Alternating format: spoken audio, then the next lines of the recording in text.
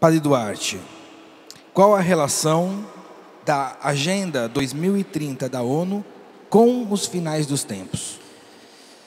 É, são temas grandes, grandes, grandes, mas tem, eu já tenho algumas pregações sobre o tema da nova era, sobre a nova ordem mundial, em que eu ofereço bibliografia para quem quiser aprofundar.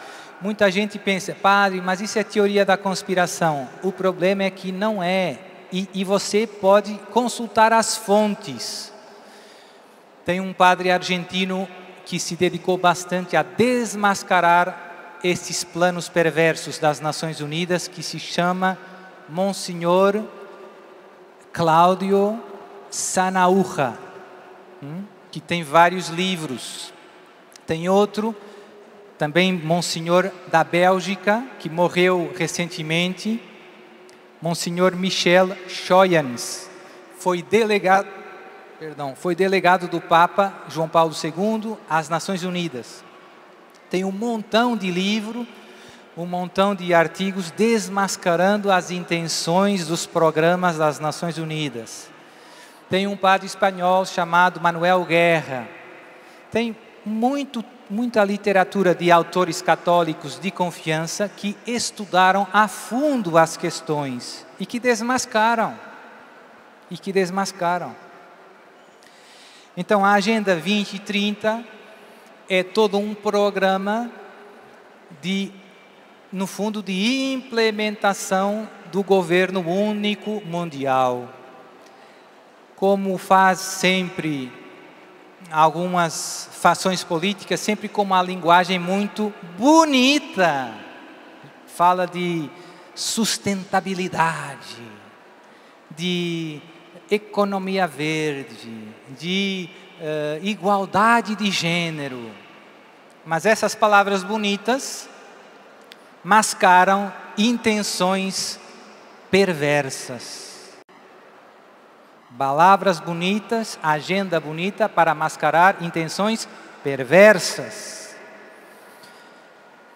E isso não começou ontem, isso tem muitas décadas. É um processo lento que se tem acelerado nos últimos tempos. E mesmo a pandemia e as coisas que aconteceram durante a pandemia fazem parte desta agenda. Fazem parte desta agenda. É triste. O mal está muito bem organizado. Infelizmente, os soldados do inimigo têm do príncipe desse mundo têm lugares de máxima responsabilidade e pouco a pouco, como eu digo, vão transformando a cultura, a maneira de pensar, de viver das pessoas para aceitarem um governo mundial e um líder mundial que será o anticristo, que será não só um líder político, mas também um líder religioso. E por isso, a única maneira de combater isso é estudar um pouco para perceber o que está em jogo.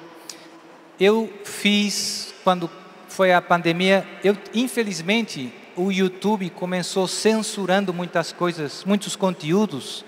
Então eu fiz um canal no Telegram e então tenho postado muita coisa muito interessante, muitos fatos que a maior parte das pessoas desconhecem e que normalmente as mídias não passam, mas que são muito importantes para perceber o que está acontecendo no mundo.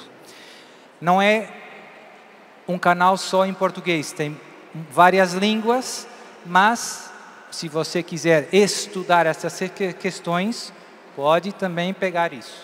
Hum?